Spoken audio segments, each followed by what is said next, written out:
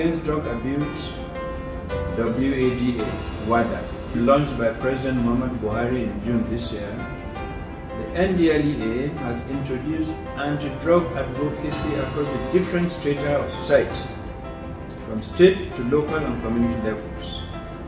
The future of Nigeria belongs to us all.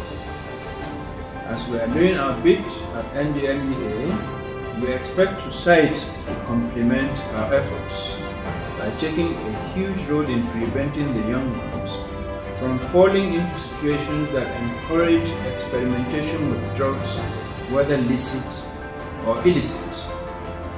Every one of us has a role to play, and the simplest role is the role of advocacy. By spreading the message, we can all become anti-drug abuse advocates. Spreading the word about the dangers of misuse of drugs can go a long way in shielding more lives from the hands of illicit drugs.